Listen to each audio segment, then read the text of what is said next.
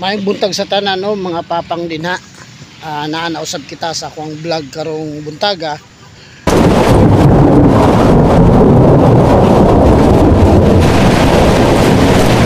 Ah, kini akong vlog para kini sa mga 18 anyos pataas.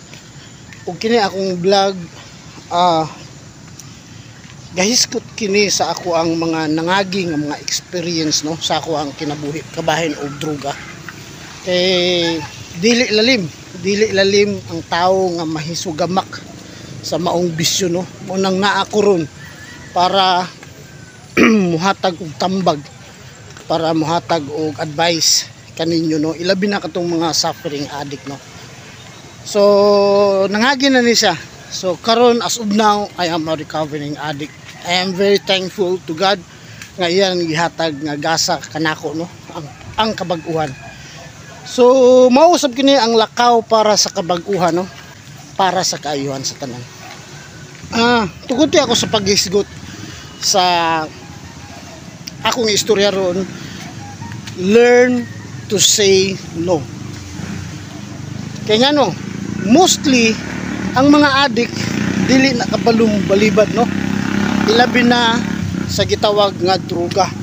So dili jud na sila kabalo mo balibad sige ra na ho. Sama sa akong kinabuhi no kaniadto. Adugay ang kayong panahon. Sige ko gabisyo sa droga akong namatikdan wa gud ko kabantay sa akong kagulingon. Nga niingon ko dili ko bay. Bisan 5 pesos na lang dagay ako kwarta o 50 pesos. Ako ko na i-chip in para makasuyop ra no? So inana dili ko kabalo mo. Ingon nga dili ko. Sige ra yes. So mao to ang nakapahugno sa kuwang kinabuhi no? Nga nahimo kong adik kay dili ko kabalo mo say no unsa ka importante ning istorya ta? Ug dili. Dili ko bay ah lami ra ni magpuyo ta og kinabuhing ah matarong. Unsa ka importante na no?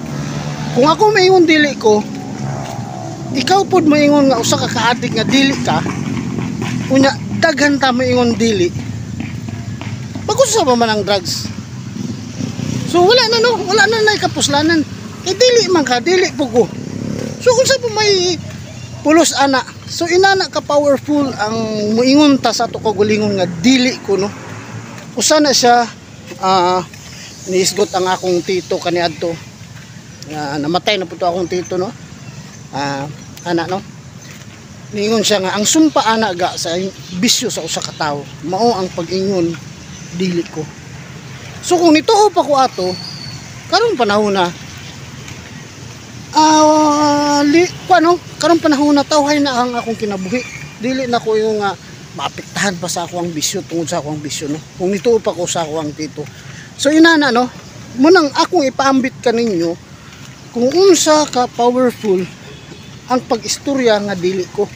Labi na ikaw usa ka adik o ikaw gasugod pa sa ang gasugod maupa nimo pagtilaw sa druga ug drugay na ka sa druga parihar na. Wala na kalainan no? Daot ka. Primero pa lang nimo suyop gidaot na nimo imong kinatibuk-an nga kinabuhi. So ayaw. Learn to say no jud sa imuhang kinabuhi no? Kay atong ampingan ang kinabuhi nato kay mas labaw pa ni sa tanan nga na-address kalibutan nga mga butang no? Ang atong kinabuhi. Dili nato ibaylura sa usa ka butang nga mo'y nakaguba sa to ang kinabuhi mao ang druga so manginaot ko nga inyo nang makatunan no? Labi na sa mga suffering addict nagantos nga mga addict nga ganahan nagbalyo. Magbago. Learn please learn to say no. Unya pangayuag jud na sa Ginoo iampo jud na sa Ginoo nga Lord ihatag ka nako ang pagsulti nga dili ko aning mga butang. Kay ngano sa atong palibot daghan kay mga temptation. Labi na ang barkada. So ang bisyo nagsugod tungod sa barkada. Influence sa barkada. So muna no? Pag moabot na sa kinabuhi nimo mupadayag sila ana mo-offer sila ana. Ingon dayon ka dili jud ko ana bay. So anang napita giluwas na nimo imong kaugalingon no sa kadautan So kung sa tibok sa atong kinabuhi gihatagan ra ta og 24 hours matag adlaw no. Imo na siyang ihalad sa Ginoo nga Lord, karong adlaw ah, kung naay mga temptation sa akong kinabuhi. Tabangi ko pag istorya nga dili ko anak. So dinang dapita no, ah, imo nang gisave ang kinabuhi nimo anang adlaw. The same thing, pagkaugma, maur Japon pangayua nga Lord tabangi ko kung na may mga tentasyon mabot sa akong kinabuhi. Tabangi ko nga mayon ko sa akong kaugalingon nga dili ko. Labi na sa droga sa mga tentasyon nga makadaot ka na ako no. So, mao na siya. Kay kabalo ka ang usa ka adik manggod. Ang iyang naandan sa dugay na niyang nga panahon, mura na siya hiwi nga kutsara ba. Tungod kay sa dugay kay nga panahon niya nga gamit hiwi nga kutsara iyang ginagamit. Bisan to paran pa na nimo og tarong nga kutsara pilion guna niya ang hiwi nga kutsara. So inana ng adik no? Hiwi gud iyang pilion sa iyang kinabuhi. Pero karon nga nakadungog na mo sa kuang advice sa kuang vlog no? Manginaot ko nga inyo pud ipatuhok sa inyong hunahuna og kasing-kasing og ato ning buhaton no? Kay kung mauni imong maandan sa kinabuhi ang pagbuhat og maayo nga dili na ka you will learn to say no nga di na jud ko. Bisan tuparan pa imong gigamit nga kutsara no? Vice versa na pud. Ang tarong na pud nga kutsara imong gigamit. Bisan tuparan pa kag hiwi nga kutsara piliu na gud nimo ang tarong nga kutsara kay ngano mo naman imong naandan sa imong kinabuhi ang pagbuhat o pag-istorya nga dili nagugkuan ng mga butanga. So inana lang mga papang no. Gamay lang na siya nga pahinumdom.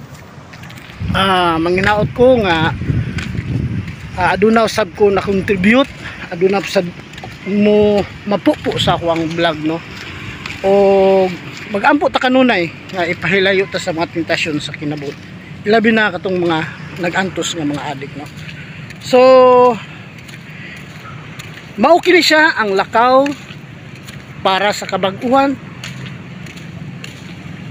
para sa kaayuhan sa tanan. So dinhi lang ko kutob mga papang manginhaot ko nga maghinahinay na taog kusog sa tong kinabuhi. Dili na sa ingon nga dali no. Dili na sa ingon nga karon dayon kan ana. It's a long process. Munang please subscribe to my channel and push the bell button, all bell para updated mo sa akong mga advice kabahin o addiction o kabahin sa usa ka addict nga ganahan mo recover no. So please share also my vlog to others para daghan pud ang mahayagan, daghan pud ang malamdagan kay base na lang kaluyan ta sa Ginoo no, mausob ang ato ang kinabuhi. Ug ang panglantaw nato sa atong kaugalingon para sa tanan. Mausob. Mausob no? Kay kini ang ah, lakaw para sa kaayuhan man eh. Kausbanan para sa kaugalingon. Kay kung gasugod ang kausbanan sa atong kaugalingon nindot ang ato ang pagpuyo dinhi sa kalibutan.